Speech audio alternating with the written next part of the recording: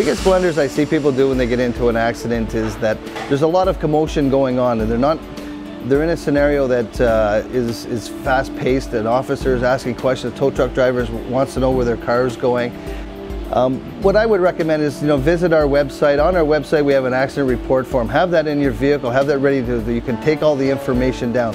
Know where your vehicle is going. Know that you have the right to have the vehicle towed to where you choose to have it towed, not where uh, the tow truck driver may be telling you where to tow the vehicle. So those are the biggest things that I find that, uh, that, that, that the blunders that are made. Preparation, being prepared. I mean, nobody wants to have an accident, but be prepared if you ever do.